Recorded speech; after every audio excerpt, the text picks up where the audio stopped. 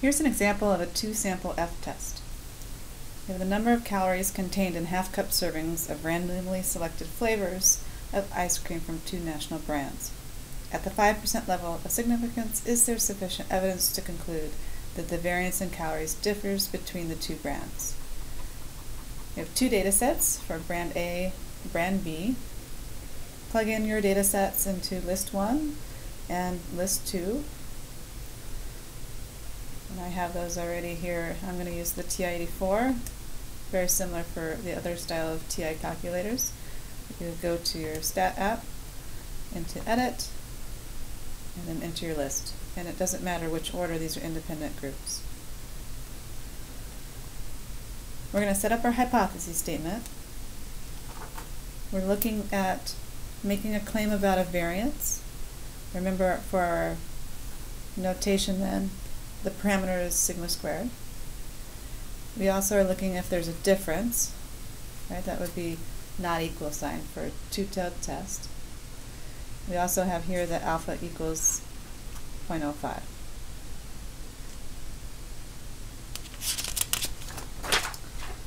We set up our hypothesis statement. We have our null hypothesis is that the variance for brand A equals the variance for brand B. And the alternative hypothesis would be that the variance for brand A does not equal the variance for brand B.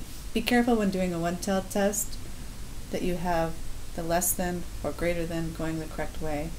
Sometimes it's helpful just to remember that the sign that you want always opens up to the larger group. Not necessarily when you see larger than will it be automatically a right-tailed test when you have two groups. And it really doesn't matter which order that you go in this point, but I'm going to go ahead and find the test statistic next. And the test statistic is pretty short. It's the F distribution, and it's S1 squared over S2 squared.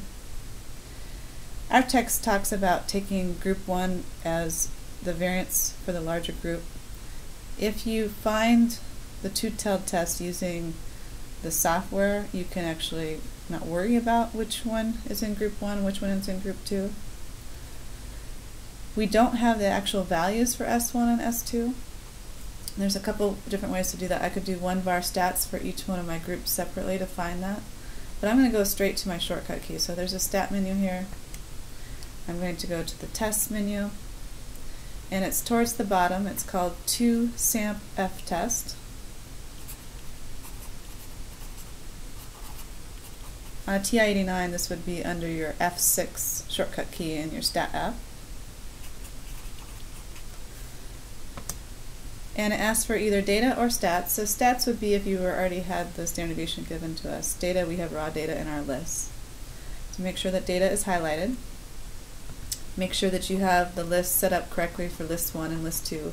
If you're in a TI-89, you actually have to have LIST1, LIST2 for your two list options keep the frequency as a 1. The alternative hypothesis sign needs to be changed depending on what you're doing. We were doing a two-tailed test, so make sure you have not equal highlighted. So as you arrow down, make sure it's blinking on there and enter, so that's highlighted. Of course, if you're doing a left-tailed test, you do the less than sign. If you're doing a right-tailed test, you do the greater than sign. Go to calculate and hit enter. And what it's going to give us is the standard deviations for each group. So S1 was 33.99 0.05 and S2 is 30.9166. So when I square those and divide, that gives me my test statistic is 1.2087. And I didn't specify what method when you're going through, but if I was asking for the p-value method, my p-value would be right here. This p-value is definitely bigger than 0.05, so I would have do not reject H naught. I'm going to go through using the critical value and we should get the same conclusion. The critical value, in this case values, because we have two of them, cannot be found on the tables, at least the left-hand one cannot be found because it doesn't provide that information in our textbook. So you need to be using a program in your calculator or Microsoft Excel or some other online calculator for these values. We have a two-tailed test with the F distribution. Remember the F distribution starts at zero. It's not bell-shaped. Zero is not in the middle. We have two positive numbers that we're going to have to find. So think about alpha was 0.05. Half of that goes into each tail. So 0.025 is over here and over here. That means 95% is in the middle.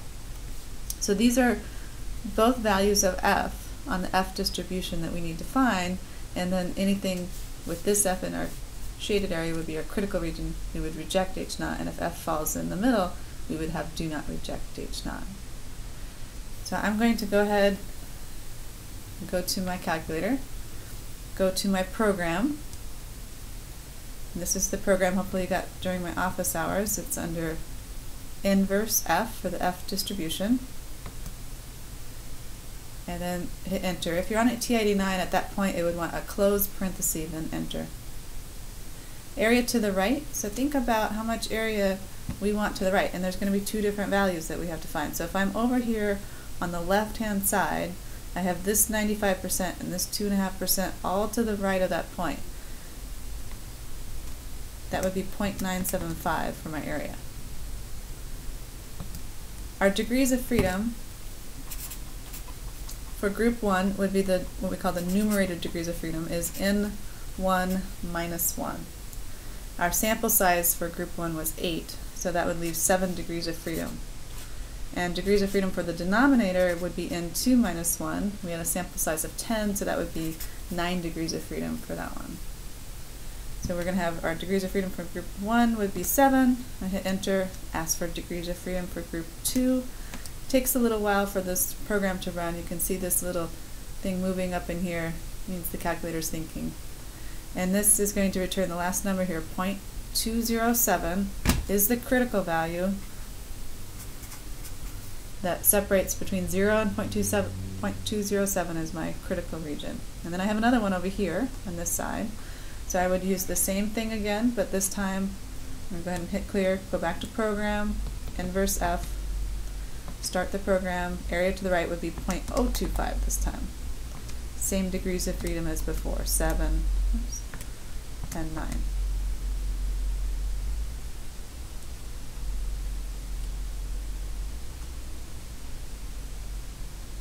And then 4.197 is that area to the right of this point. Then you compare your test statistics. So if I'm looking at this value here, where does it fall on the number line? It's in the middle.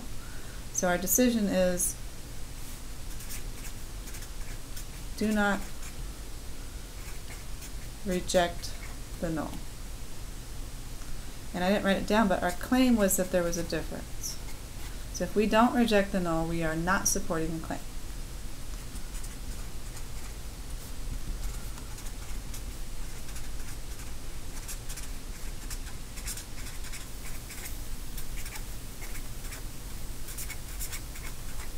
So there's not enough evidence to support the claim.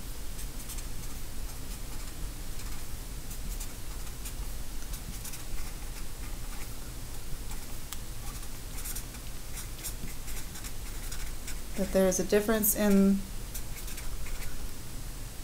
the variance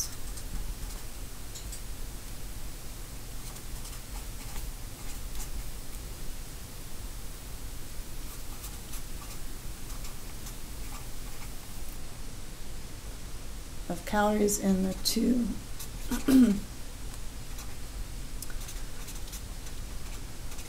national ice cream brands. All right, there's an example.